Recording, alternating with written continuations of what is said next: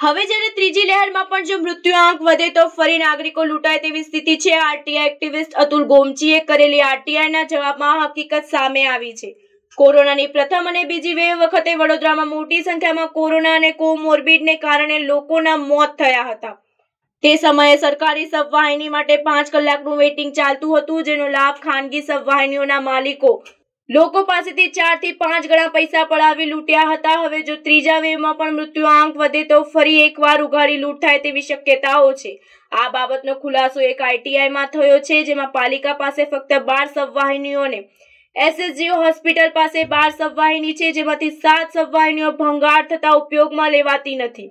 જેથી કુલ ચોત્રીસમાંથી સત્યાવીસ જ સબવાહિનીઓ છે, એટલે કે ચોવીસ લાખની વસ્તીમાં દર એક લાખ લોકોએ માત્ર સબવાહિની છે આ બાબતે વિપક્ષ નેતા અમી રાવતનું કહેવું છે કે પાલિકાએ નાગરિકો માટે સુવિધા વધારી ન શકે તો કંઈ નહીં, પરંતુ જેમ જેમ વસ્તી વધે છે તેમ મોતના આંકડા વધે છે.